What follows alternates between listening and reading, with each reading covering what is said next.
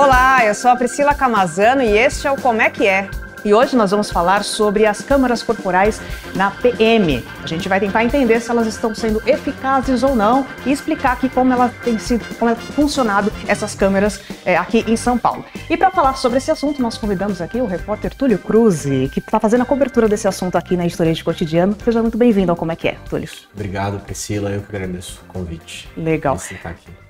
Túlio, daqui a pouco a gente vai entrar nessa, nessa questão da eficácia, mas antes, para a gente uhum. esquentar a conversa, eu queria que você falasse um pouquinho para a gente qual que é o objetivo dessas câmeras, né? Elas estão sendo apalpadas na farda do policial, né? E quando que elas começaram é, a serem usadas, né, acionadas ali na polícia?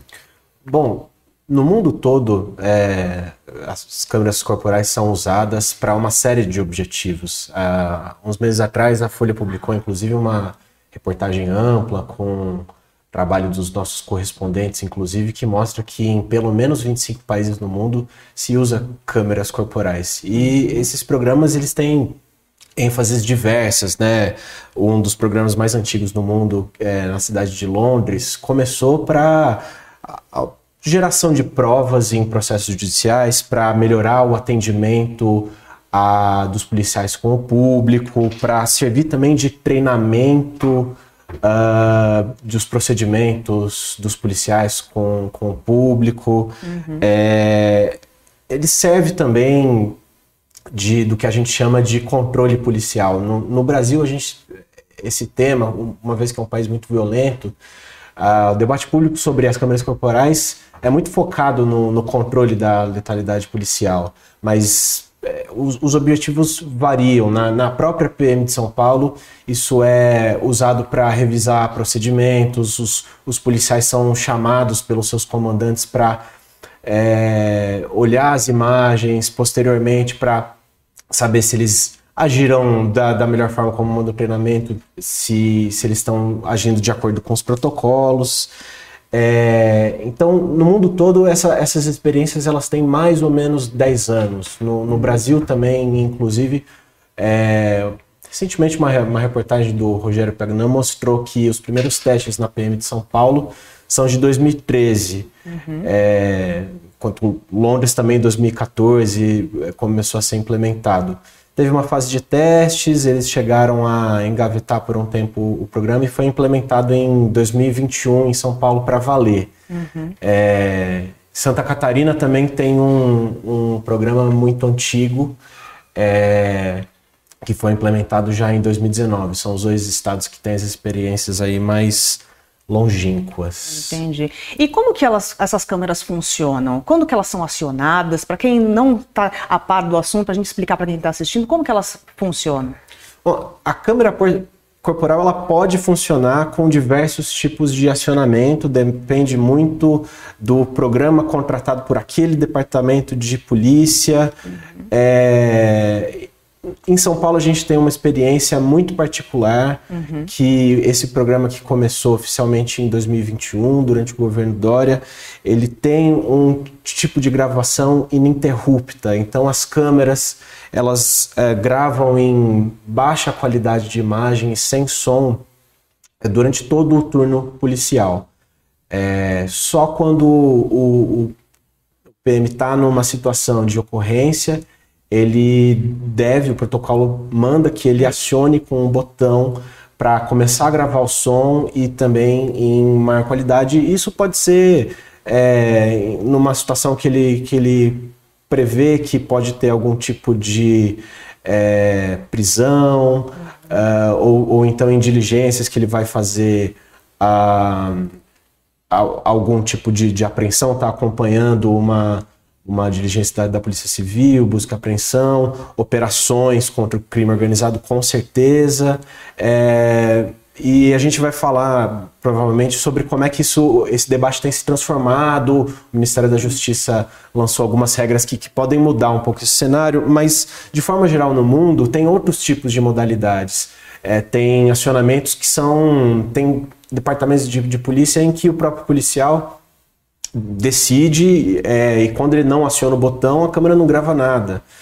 É, os, os, dispositivos geralmente eles têm um, um, eles vão apagando os 90 segundos anteriores, uhum. é, mas em muitos lugares essas imagens se perdem se o próprio policial não aciona manualmente. E em outros lugares é, existe a modalidade de acionamento remoto, uhum. é, seja, seja, automático, por exemplo, quando ele retira a arma do coldre, o coldre tem um sensor e uma vez que ele está com a arma em punho ou a arma fora da, daquele dispositivo, se aciona ou então pelo remotamente pelo centro de controle. Se eu não me engano, em Santa Catarina é assim. Se um, uma equipe policial é destinada para atender uma ocorrência, o centro de operações da PM já aciona um botão.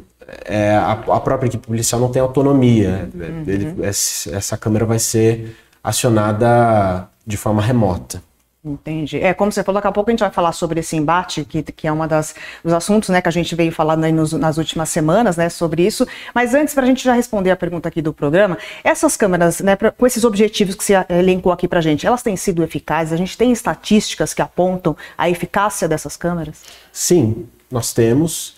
É, acho que é, vale a pena mencionar que as experiências são muito diversas no mundo. Uhum. Uh, não existe a eficácia varia muito de acordo com o contexto, com o país, é, com as regras das câmeras, principalmente, os principais estudos que, que compilam é, pesquisas científicas pelo mundo dizem que as regras para acionamento e custódia das imagens é, costumam interferir muito na eficácia, mas para São Paulo, sim. Em São Paulo, especificamente, nós temos mais de um estudo científico que avaliaram o impacto do uso das câmeras pelos batalhões nas estatísticas criminais. Então, é, elas têm eficácia em mais de um aspecto na, na, nas estatísticas criminais.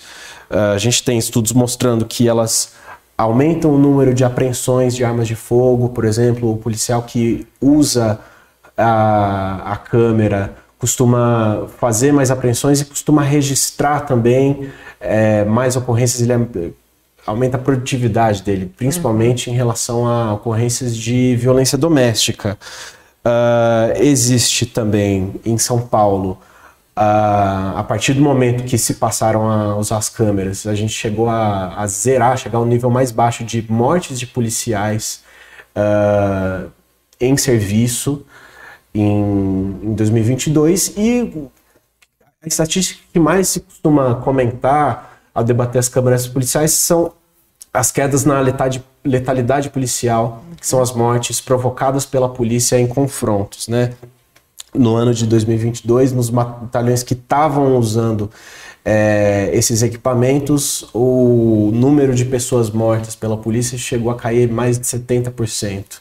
Então, é, pelo menos três bons estudos que, que mostram é, essas, é, essas quedas de letalidade e melhora em outros índices. Né? Eu destacaria o estudo da Fundação Getúlio Vargas, uhum. conduzido pela Joana Monteiro e pelo Leandro Piquet, um estudo da Unicef em conjunto com o Fórum Brasileiro de Segurança, da Samira Bueno, e também um do INSPER, do Antônio Marcolino e do Gustavo Tavares, todos eles mostram essa queda nos índices de letalidade e outras coisas. Sim, eu acho que essas câmeras é uma forma de, do monitoramento ali da ação do policial, né? A gente vê essa letalidade diminuindo, né? Pode ser uma forma, é, a gente poderia pensar dessa forma? É uma forma de monitorar a ação ali do policial? Sim, acho que no, no Brasil uh, isso existe muita ênfase na importância dos equipamentos uhum. para o monitoramento, para o controle da atividade policial.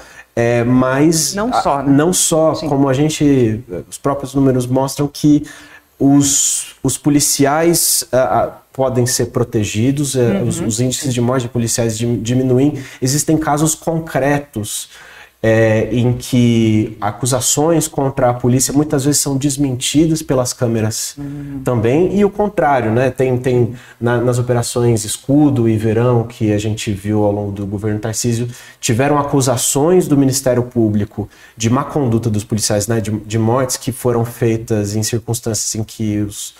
Uh, os acusados supostamente não ofereciam risco aos policiais e eles tão, são réus hoje, respondendo por situações em que eles teriam matado é, inocentes, e o contrário também, situações em que a, a polícia é acusada de, de alguma má conduta e as, as imagens servem para comprovar que isso não ocorreu. Entendi. Agora falando, aproveitando aqui o gancho aí de falando de, do governo Tarcísio, é, o, governo Tarcísio, o governador Tarcísio ele já chegou a criticar né, o uso dessas câmeras aqui em São Paulo. Daqui a pouco a gente vai falar sobre o novo projeto que ele apresentou, né? Mas eu queria que você falasse, é, relembrasse para a gente qual, qual foi essa crítica do governo, o que, que, que o Tarcísio é, falou, né, naquele momento sobre as câmeras na, dos policiais, na farda dos policiais. Sim, essas críticas elas vêm desde, desde a campanha eleitoral de 2022, uhum. da qual o Tarcísio saiu vencedor. É, foi uma grande polêmica, talvez a maior das Sim. eleições estaduais, quando ele declarou que ele acreditava que a, a Câmara servia como uma vantagem do bandido em relação aos, aos policiais e de que ele tinha a intenção, naquele momento, em 2022, de cancelar o programa Olho Vivo, que é o programa da, uhum. da Polícia Militar de São Paulo, é, para as câmeras corporais. Depois voltou atrás. É, mais recentemente, no começo do ano, agora em janeiro, ele chegou a declarar, declarar numa entrevista à TV Globo que ele é, acreditava que as câmeras não tinham eficácia para proteger a população.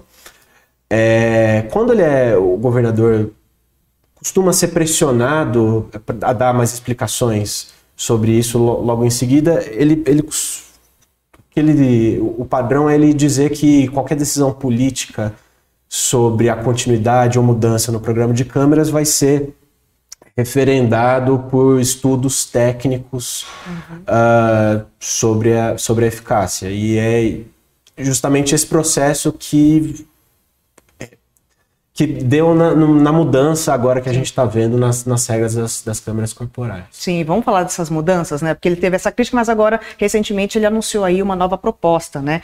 É, o que, que diz essa proposta no, do uso das câmeras? O que, que o governador é, apontou ali como mudanças, possíveis mudanças? Bom, o edital de compra das novas câmeras corporais, são 12 mil câmeras, que vão substituir as atuais 10 mil, uhum. é, traz novas regras. Esse, esse, edital já foi preliminarmente vencido pela Motorola, que vai passar por novos procedimentos de avaliação. Uhum. E a mudança é exatamente em relação ao procedimento de que se chama de grava tudo. É, uhum. é esse modo de gravação em que a, a câmera uh, mesmo quando o policial não aciona, não aperta o botão, ela fica gravando continuamente todo o turno do policial em baixa qualidade e sem som.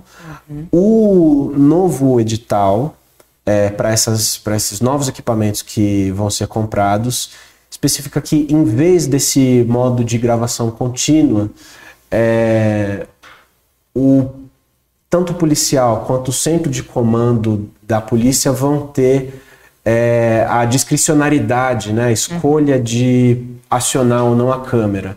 E a câmera vai guardar sempre os 90 segundos anteriores ao momento do acionamento. Uhum. O que não está é, contemplado por isso, os momentos em que a câmera não tiver com o botão acionado ou esses 90 segundos anteriores, vão ser perdidos, não vão ser armazenados. Eu diria que essa é a maior mudança. E o governo também, no edital, chegou a dizer que é, a, a, explicitar ali que o tempo de armazenamento, né, quanto tempo essas, essas imagens vão ficar guardadas nos. É, vão ficar guardadas, armazenadas uhum. para posterior revisão, ia ser. Ia diminuir o diminuir tempo. Dias, né? também. É, e o governo tem voltado atrás em relação a esse ponto especificamente, mas quanto ao acionamento das câmeras, não. Sim. Agora, o, o acionamento das câmeras C, né?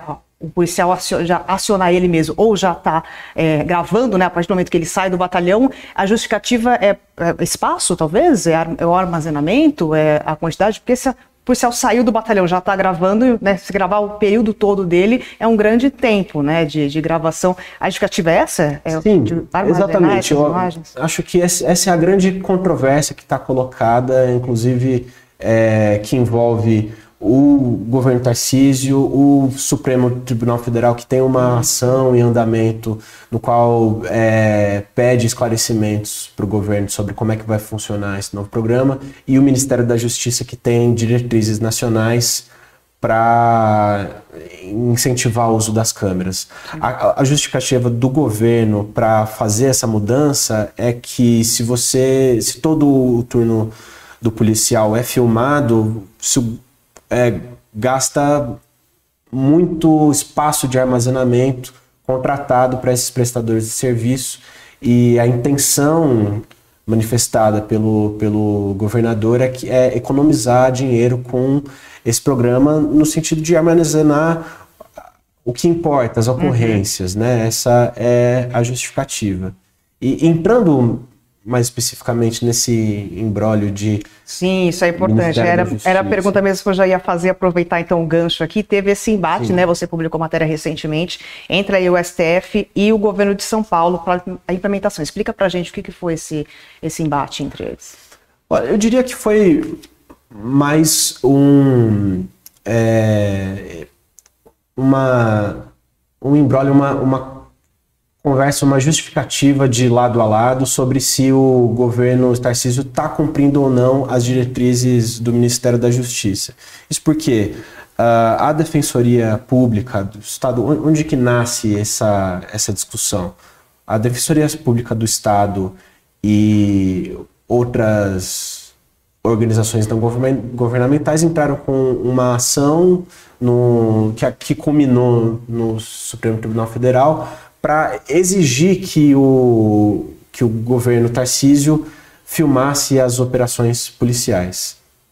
É, uma decisão do presidente do Supremo, é, ministro Barroso, exige que a, o governo Tarcísio cumpra as diretrizes do Ministério da Justiça, do governo federal, uhum. sobre como funcionam essas câmeras. Uhum. É, e o que diz essas diretrizes? Na verdade, as, as diretrizes nacionais elas foram publicadas para é, determinar como que aqueles estados que quisessem dinheiro do governo federal para compra de câmeras, quais regras elas deveriam é, seguir. Uhum. E um dos pontos centrais dessa, dessa diretriz são os momentos em que o policial ou outra pessoa deve acionar uhum. essa, essa câmera. Então, qualquer situação de confronto, é, qualquer situação que, que pode resultar numa, numa prisão, uhum. é, devem ser necessariamente acionadas. E tem um termo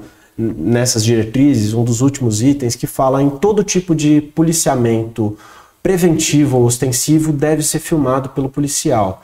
E isso tem sido interpretado pelo próprio Ministério da Justiça, tem esclarecido, é, e por especialistas em segurança pública também, é, que isso significa que uma vez que o policial pisa para fora do batalhão, se ele está dentro de uma viatura fazendo um patrulhamento, se ele está guardando posto, é, parado no, numa esquina, aquilo, isso já é uma ação é, de policiamento preventivo e ostensivo, o que significa dizer que é, quase todo todo tempo o policial vai estar com a câmera gravando.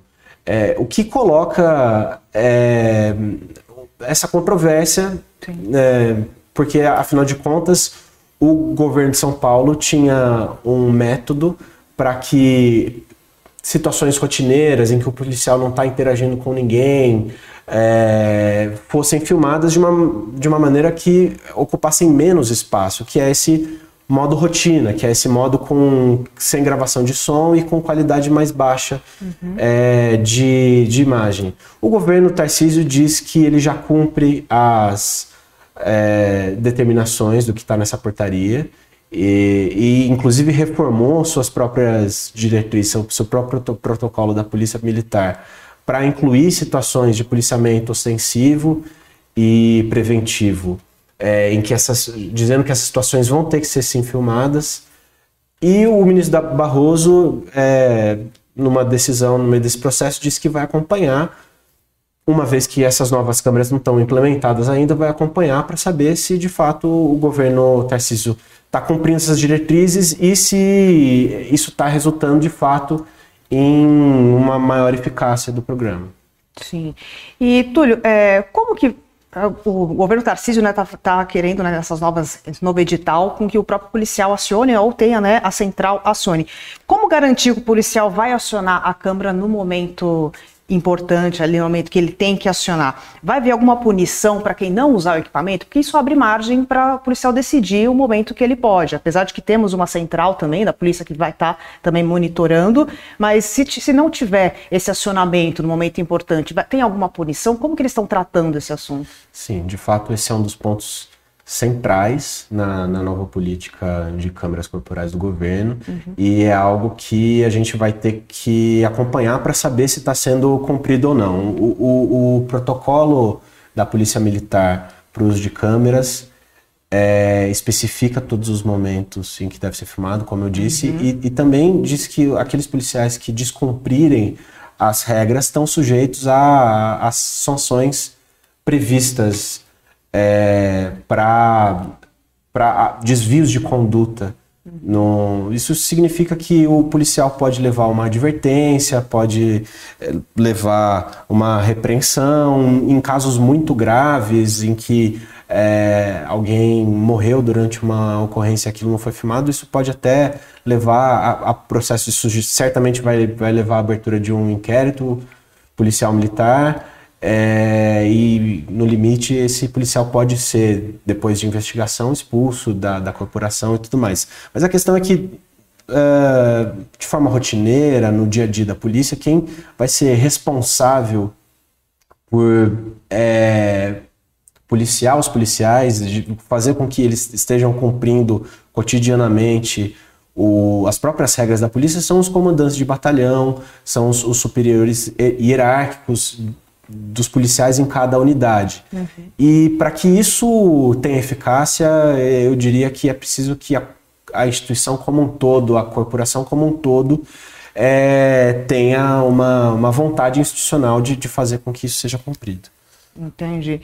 E Túlio, quem que pode ter acesso a essas as imagens dessa gravação? Para quem está assistindo, para a gente entender como tem funcionado, onde que vai ficar, onde que fica armazenado, é, o cidadão vai poder ter acesso a, a, essa gravação ou é só a polícia? Como que funciona isso para a gente entender para onde que vai essas imagens? Pro, olha, para os tipos de ocorrência que, aliás, para os tipos de imagem que não geram nenhum tipo de ocorrência, não, não, não dizem respeito a, a um, uma ocorrência que foi registrada na delegacia, é, o acesso a essas, essas imagens é, é, muito nebuloso e de difícil acesso, uhum. até por falta de justificativa. Quando é, uma ocorrência gera algum processo judicial e, e existem imagens, aí sim existem regras mais claras sobre quem pode acionar. Então, a, a Polícia Militar tem protocolos que é, dizem que ela deve compartilhar com a Justiça, os, os uhum. tribunais, as, as varas de justiça específicas para que, que, vão julgar esses casos. É, o Ministério Público, que tem o papel de investigar esses casos, e também as defesas seja do policial, seja de algum outro envolvido uhum. nesse caso. É, a, a Defensoria Pública é um órgão que não tem o acesso garantido em todo tipo de ocorrência, tem que estar tá representando alguma das partes para é, para ganhar acesso e a ouvidoria das polícias também é um órgão que não tem o acesso garantido nem pelas diretrizes nacionais, nem por esses protocolos aqui do Estado. É, falando em ouvidoria das polícias, uh, o ouvidor Cláudio Silva tem, é, tem sido uma figura que tem demonstrado bastante preocupação com essas, com essas mudanças e com respeito a esses protocolos da própria polícia. Né? Inclusive mandou uma informação exclusiva aqui para como é que é, uma vez Muito que bem. depois de ter é, visto o, a chamada do programa, é, segundo a ouvidoria das polícias, uh, os acionamentos, uh, os acionamentos espontâneos dos próprios policiais diminuíram de um ano para o outro é, recentemente, segundo a ouvidoria. e em 2022, 125.721 ocorrências tiveram acionamentos espontâneos pelos uhum. policiais e no ano seguinte, 2023, foram 78.748 é, ocorrências, é, cerca de metade. Sim dados importantes aí para a gente acompanhar, né? E Túlio, para finalizar, você falou um pouquinho aqui nessa nossa conversa dos exemplos em outros países, né? Mas vamos finalizar aqui. Eu queria que você falasse qual é a experiência, né, em outros países com a relação às câmeras, é, uso das câmeras por, pelos policiais, para a gente ter uma noção de como estão sendo tratado isso também fora do, do Brasil. É, de fato, essas experiências variam muito de país para país e, como eu disse, aqueles estudos que costumam compilar uh, as, as, pesquisas sobre os resultados da eficácia das câmeras costumam ter resultados muito divergentes. Uhum. Então, eu, eu diria que o dado mais importante que costuma é, determinar se um programa de câmeras num determinado departamento de polícia é eficaz ou não é, são as regras para acionamento e principalmente se o público tem acesso a essas imagens, é, uma vez que eles estão envolvidos em algum tipo de ocorrência ou não. Tem uma pesquisa do Departamento de Justiça americano que analisou é, os, os, departamentos é, nos Estados Unidos que usam as câmeras ou não, que encontrou dados muito variáveis sobre se é, o uso das câmeras aumentavam a confiança do público nas polícias uhum. e se de fato ocorrências com, com mortes geravam algum tipo de, de punição para os envolvidos, né, para quem uh, disparou e a circunstância que resultou morte ou não. Normalmente é, as regras de acesso a essas imagens variam, variam muito de, de lugar para lugar. É, é lógico que essa preocupação com segurança pública é muito mais, é, muito mais aguda num, num, país como o Brasil, que, que é pioneiro na, no continente, na América do Sul, pelo menos, uhum. os países que, que têm é, o uso de câmeras corporais mais disseminado, uhum. mas é, as experiências no mundo variam, variam bastante. A gente Sim. tem muito a aprender e a observar com o restante das experiências. Maravilha. Túlio Cruz, repórter aqui de, da de Cotidiano, que tem abordado aí, falado sobre esse assunto. Muito obrigada, Túlio, por ter vindo, esclarecido aqui o assunto para a gente. A gente vai continuar te acompanhando aí. Convido todo mundo a continuar acompanhando as matérias do Túlio aqui né, no site da Folha. Muito obrigada, venha mais vezes. Com certeza. E agradeço também a você que nos acompanhou até aqui. Espero vocês amanhã. Até.